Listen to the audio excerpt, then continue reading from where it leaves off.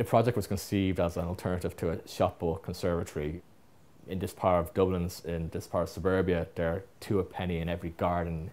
And I think that while they have their use and they're good and they have a quality, what we were trying to do here is build something that would have the qualities of those conservatories, but in a project that was more tailored, but at the same cost as what it was buy these off the shelf.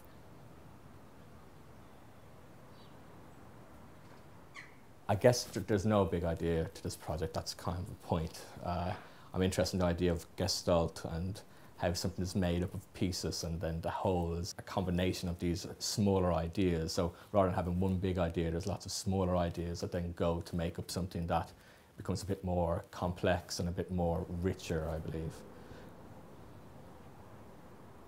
We're kind of interested in the idea of the office of this idea of being richly economical. We kind of noticed that in a lot of recent projects or architecture in general, there's a kind of a, an approach that if you want to build cheaply, you pare back to a, a constructional fabric.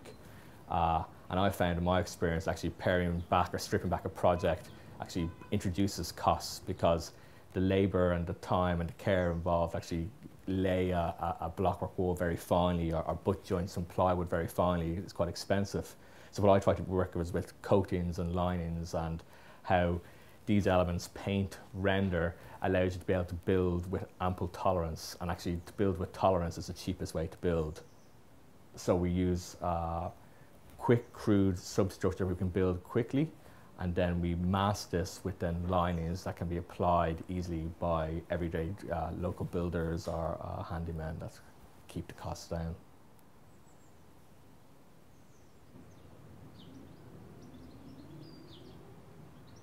From working on this conservatory or this extension, you realize that when you put two boards together, is it important about the boards or the joint between the boards?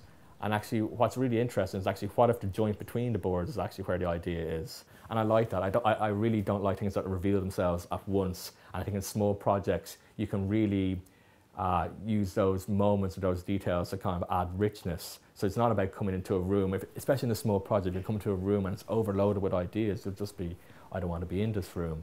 But if the ideas are, are kind of subtle or, or played or nuanced, then I think it's something that reveals itself more slowly and it's, it's, it's much more uh, friendly, I think, to be in that space